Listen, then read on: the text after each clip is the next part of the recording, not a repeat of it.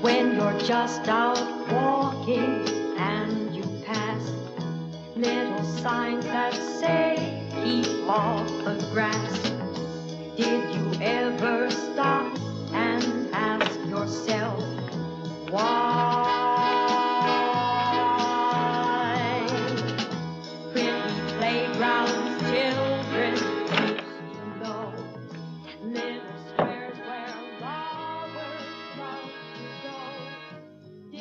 years old.